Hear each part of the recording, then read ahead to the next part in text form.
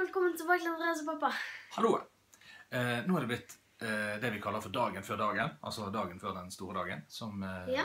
er i, altså dagen før dagen er jo i dag, men den store dagen er i morgen. Ja. For det er jo påskeaften. Så vi Hæ? Hm? Nei. eh, Nei. Det, I morgen er det Julaften. helt riktig. Den 24. desember. 24. Egentlig så er det 24. Ja, det er faktisk helt riktig, det òg. Eh, Ja. Mye tabber her i det. Men i hvert fall, nå er hele adventstiden ferdig. Det er bare snakk om eh, sekunder, nesten. Iallfall noen få timer. Så er det blitt Ja. julaften. Er du, er du klar nå? Ja. Er alt, eh, jeg ser vel eh, altså Vi kan jo se litt, måte, vi skal ikke se så mye rundt oss, men det jeg kan røpe, er det at Andreas har litt igjen på å rydde rommet. Det rydde rommet er jo veldig viktig, ellers så kommer ikke nissen seg frem, liksom. Så hvordan skal det gå? Kan du si. Hva gjør du på nå? Sjekk hvor lenge det er. Du sjekker hvor lenge det er, ja. Eh, Så bra. Det er 23 minutter og 3 timer igjen. Ja, eller 3 timer og 23 minutter, som vi, som vi sier. Um, Ja. Skal vi ta oss en tur eh, gjennom, eh, gjennom huset og sjekke at uh, ting er på plass? Ja. La oss gjøre det. Interessant at det bare tre timer og eh, 23 minutter. Ja, det er helt riktig. Det er helt riktig. Det, nå, eh, I adventstiden er det jo veldig mange ting man skal gjøre. Man skal bake kaker. Eh, det har vi gjort. Vi har bakt pepperkaker her på, eh, på kjøkkenet. Eh, har vi. Vi har eh, vasket huset. Det vil si at ingen av oss har vasket huset. Vi har jobbet på å støvsuge litt, men eh, vi har en eh, mamma som er veldig flink å, å vaske huset. Eller har du vasket en del?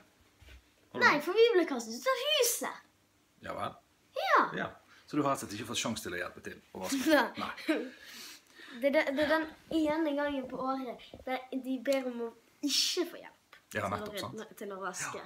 Julestjernene er kommet på plass i vinduet. Eh, julelysene er på plass på bordet. Sånn. Og eh, i det hele tatt, vi har faktisk litt eh, 17. mai-pynt eh, på, på bordet òg. Men der er, der er nisser borti vinduet og, og alt det Ja. ja, vi trenger ikke 17. mai-pynten. Den kan, den kan komme igjen. Ja, juletreet. Det har dere jo sett eh, før, Sånn. faktisk. Ja. Det er ferdig pyntet. Eh, Mm, Da vi hadde Mm. Så dere det når vi hadde med Randar? Stemmer det. Når han hadde bursdag, så har vi julenissen. Han er, kan være dagens gjest på mm. den uh, siste Faktisk den siste episoden. Mm, mm. Ja. Tror han gleder seg. Ja, det tror jeg òg. For det blir travelt for nissen i morgen. Med det været som er ute, så blir det i hvert fall tøft for han å kjøre slede. Kan du tenke deg? Og så er det en interessant ting som har begynt, begynt på NRK Super. Ja. Det er jo Snøfallet. Stemmer det. Han er, han er faktisk både begynt og er ferdig. For det er vel siste episoden i morgen. Ja. Ikke det? Ja. Det er det. Skal vi si at vi er klare til jul da, Andreas? ja. Ja. Du er fornøyd med alt? Har du vært eh, Det er kanskje det viktigste spørsmålet. Har du vært snill i år? Ja. Har du det? Ja. Har du oppført deg sånn som du skulle? ja. Ja. Bortsett fra at jeg ikke hjelper til å rydde, men det er fordi mamma ikke ba om hjelp. Nett, ja, du tenker på i dag. Men ellers så har jo du vært eh, veldig veldig flink hele året til å rydde rommet ditt. har ikke du det? Ja. Det er veldig bra hvis du, hvis du syns det sjøl. Jo. Ikke rist på hodet til meg. Nei. Men i hvert fall oppsummeringen. Eh, er vi fornøyd Ja. med alt? Er vi klare til å feire jul? Ja. Ja. Kjempebra. Husk at i morgen så ses vi når klokken er 11 på formiddagen. For da er det nemlig livesending. Vi skal med gjester, vi skal kose oss litt, gjøre litt forskjellige juleting og alt mulig sånt. Fortsatt hemmelige. Ja, fortsatt hemmelig. Det skal vi røpe i morgen. Så tune inn på eh, YouTube eller Facebook eller begge steder.